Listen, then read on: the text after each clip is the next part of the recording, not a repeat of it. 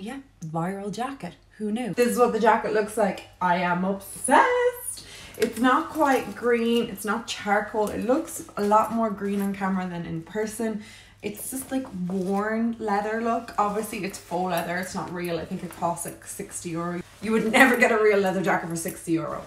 I sized up. I'm normally a size extra small in Zara's jackets and I got a size small for it to be a little bit more oversized. I really, really like the fit of this. I love the buckles, the hardware.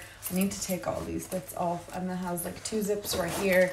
I'm such a massive fan of Zara's faux leather jackets. I've had one for maybe 15 years, no lie, and it still looks great. So I'm hoping that this one stands the test of time. What do you guys think? I think it's so pretty. I just love the length of it. I love the cut of it. I love the colour. I love everything about it. It's totally my vibe.